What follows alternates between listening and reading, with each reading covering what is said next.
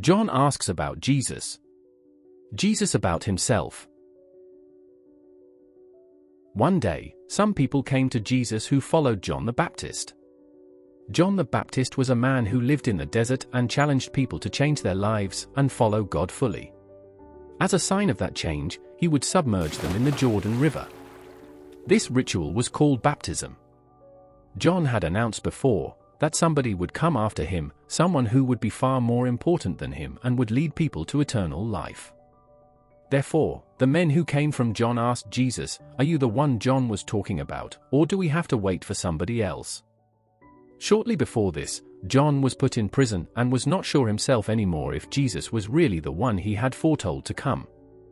Jesus replied, Just tell John what you see, and he will know.